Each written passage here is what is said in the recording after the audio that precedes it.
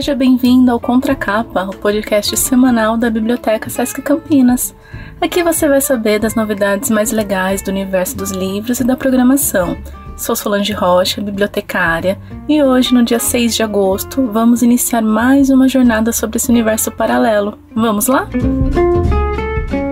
Teresa é uma mulher negra. Teresa é escrava e vive no Brasil do século XVIII, colonial e escravista. Teresa também é uma rainha, a rainha Teresa. Teresa de Benguela é, assim como outras heroínas negras, um dos nomes esquecidos pela historiografia nacional, que foi resgatado graças ao engajamento do movimento de mulheres negras e à pesquisa de documentos até então não estudados, buscando encontrar outro lado da nossa história nacional. Teresa reinou por duas décadas no quilombo do Quariterê, após a morte de seu companheiro José Piolho. No último dia 25 de julho foi comemorado o Dia Nacional de Teresa de Benguela e da Mulher Negra, buscando resgatar a memória de personagens importantes da historiografia nacional e criar um símbolo de identificação para essa população. Nessa mesma semana, ao abrir as redes sociais, me deparei com uma pergunta feita por um outro colega de uma outra unidade SESC, que questionava seu público com a seguinte indagação: Quantas escritoras negras você já leu? Você poderia me responder? Maria Firmina dos Reis é considerada a primeira romancista negra brasileira, pela publicação do romance Úrsula no ano de 1859, que também é considerado o primeiro livro escrito e publicado por uma mulher no país. A data do dia 25 de julho nos remete à exaltação de um símbolo nacional. Contudo, iremos transcender fronteiras e exaltar mulheres negras que rompem barreiras, por serem mulheres, negras, muitas vezes pobres, mas que, independente das circunstâncias, fizeram da arte um instrumento principal de luta e resistência por seus valores, memória e cultura. Robin Rihanna Fent é uma jovem mulher negra, nascida em Barbados, que, através de sua música e sagacidade para os negócios, foi eleita pela revista Forbes a artista feminina mais rica do mundo. Em segundo lugar na lista, temos outra artista, mulher, negra e que consolidou sua carreira já tão estonteante ao lançar o álbum Lemonade, em que as letras versam dentre tantos assuntos sobre ser mulher e ser negra. Beyoncé Knowles é negra, assim como Rihanna, juntas são consideradas as mulheres mais poderosas do show business. Em terras brasileiras encontramos a beleza, a simplicidade e a luta dessas personagens na literatura, na música e na televisão. Clementina de Jesus foi uma cantora tardia, que do alto dos seus 60 anos nos presenteou com canções simples, mas muito reveladoras sobre os antigos costumes do que seria a primeira leva de pessoas negras livres no Brasil, e parcerias tão alegres, com letras tão atuais como com Clara Nunes na canção PCJ, Partido Clementina de Jesus, mais conhecida como Não Vadeia Clementina. Dona Ivone Lara, sambista carioca, brilhou igualmente em um reduto tipicamente masculino. Com seu passo calmo e fala mansa, Dona Ivone foi a primeira mulher a ter um samba enredo cantado na avenida. Esses são apenas alguns exemplos de histórias com os quais o Contracapa vai te presentear neste episódio. Apresentaremos seis escritoras de diferentes países, mas todas preciosas não apenas por sua trajetória, mas pela capacidade em usar a palavra como instrumento de reflexão e luta. Quarto de Despejo foi escrito por Carolina de Jesus, mulher mineira, pobre e negra residente da favela do Canindé, na zona norte de São Paulo. Carolina era catadora de papel e tornou-se escritora quando foi descoberta pelo jornalista Audálio Dantas durante uma reportagem. O livro reproduz o diário que a escritora mantinha sobre a sua vida e o título veio de uma frase sempre dita por Carolina: A favela é o quarto de despejo da cidade.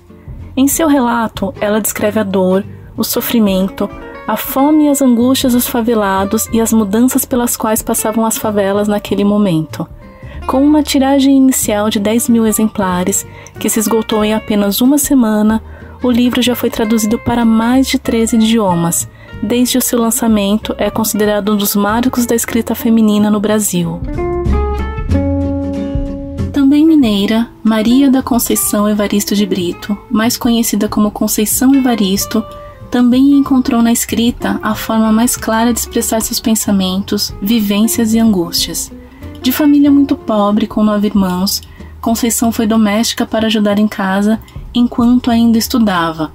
Hoje, Conceição é mestra em literatura e suas obras podemos encontrar temas doloridos, mas muito comuns ao dia a dia de uma mulher negra, como a discriminação racial, de gênero e de classe. Em Olhos d'Água, encontramos a pobreza e a violência urbana que acomete a população negra nas grandes cidades.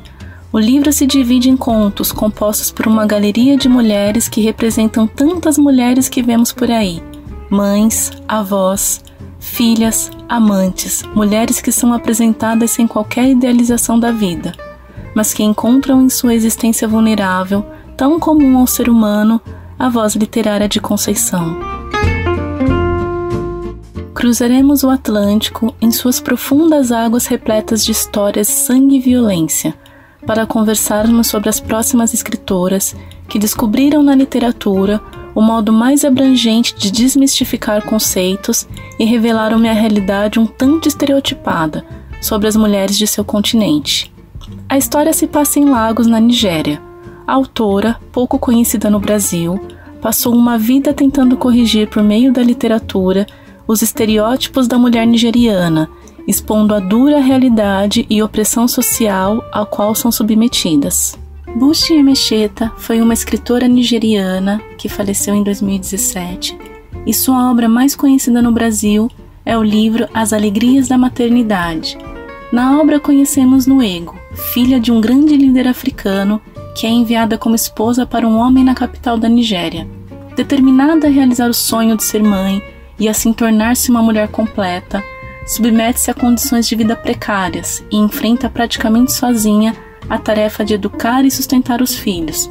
Entre a lavoura e a cidade, entre as tradições dos ígbos e a influência dos colonizadores, ela luta pela integridade da família e pela manutenção dos valores do seu povo. A obra questiona, entre tantos temas, a educação da mulher, a valorização da maternidade como única preocupação possível a violência degradante do colonialismo e a cultura que deslegitima a sua autonomia. Shimamanda Ngozi Adichie escreveu seus primeiros contos quando tinha sete anos de idade.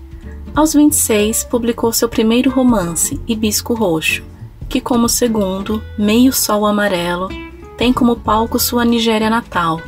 Por ambos recebeu reconhecimento internacional e diversos prêmios, mas foi por Americana que ela recebeu o mais prestigioso.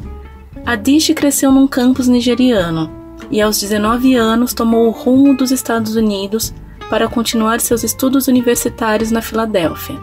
Dessa experiência surgiria a Americana, que se passa nos dois países, o Natal e o de adoção, pelos quais hoje ela divide sua vida.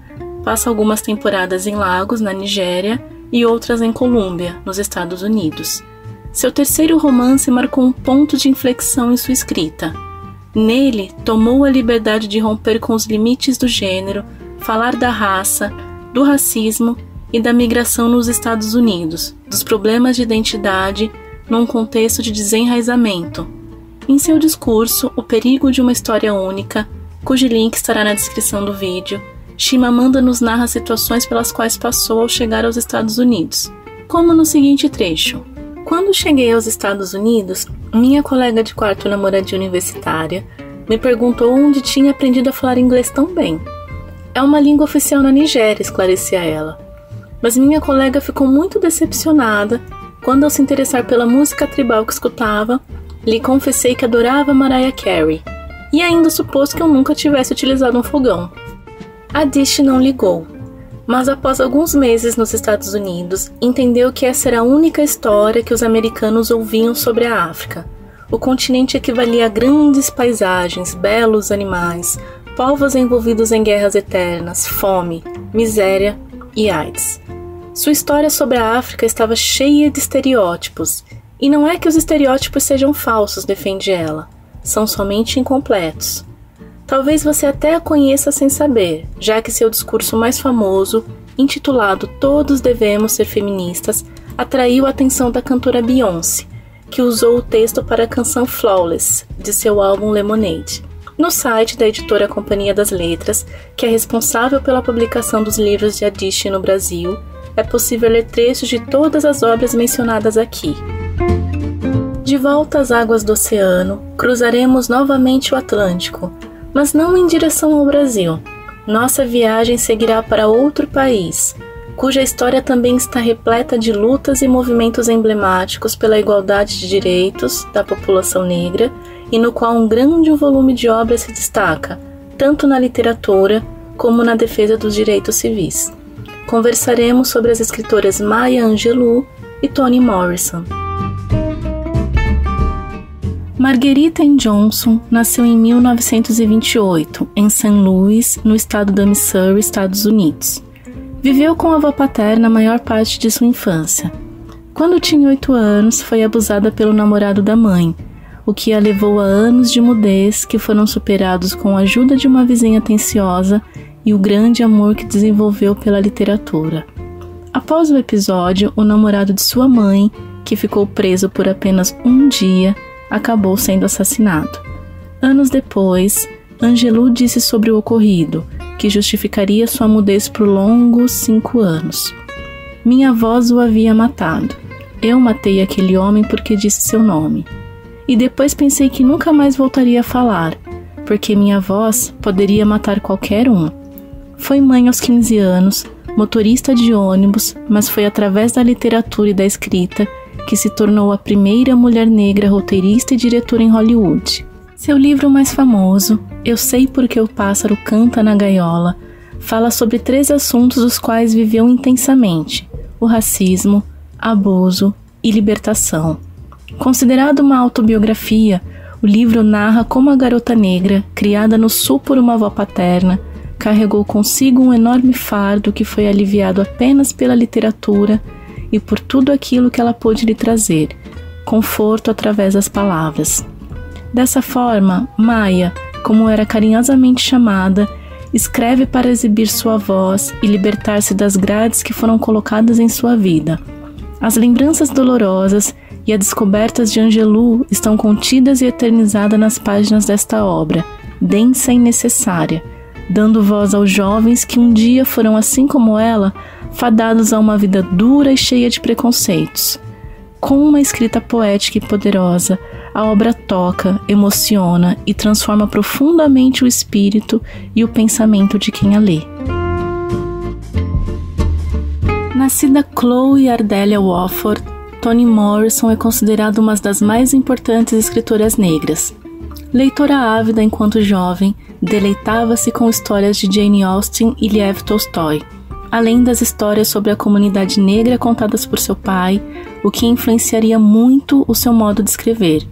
Aos 12 anos, converteu-se ao catolicismo, recebendo de batismo o nome Anthony, o que justificaria a adoção do nome Tony. Tony é vencedora de um prêmio Pulitzer pelo romance Amada e de um Nobel de Literatura por seus romances fortes e pungentes que relatam as experiências das mulheres negras nos Estados Unidos durante os séculos 19 e 20.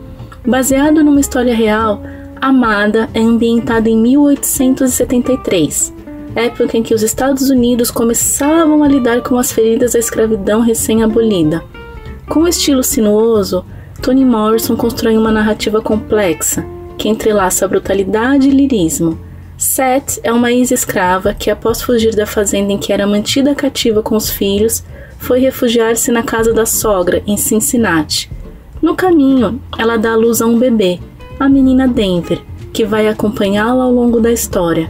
A relação familiar, bem como os traumas do passado escravizado, transformarão a vida e o futuro de ambas de forma irreversível.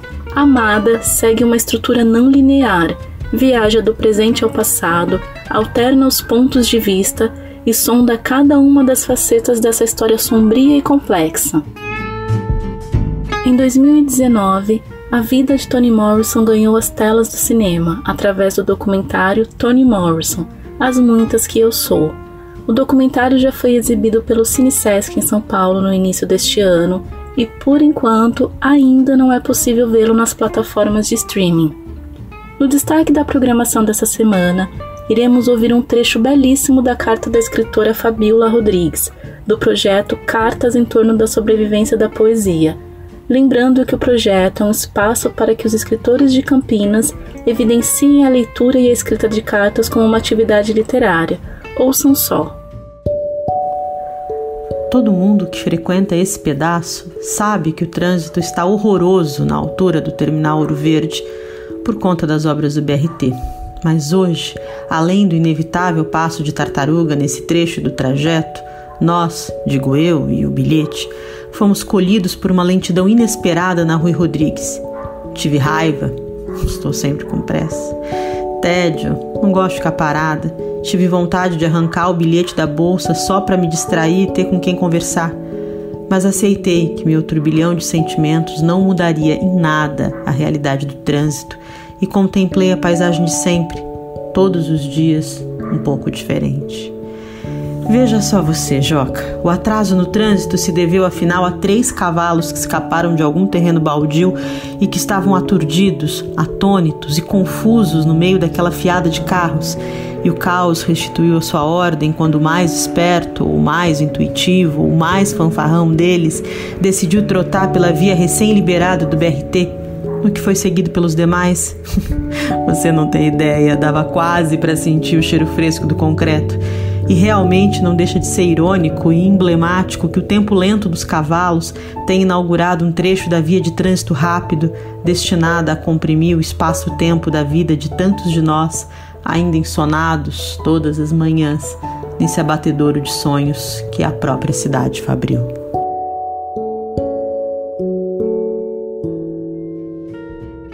Lembrando que para ler a íntegra das cartas basta acessar apoesiasobrevive.wordpress.com apoesiasobrevive.wordpress.com Por hoje é só, pessoal. Aproveitem as nossas dicas e na próxima quinta estaremos aqui para falar mais sobre livros e cultura no Sesc Campinas, com a estreia do quadro Papo Saúde. Até lá!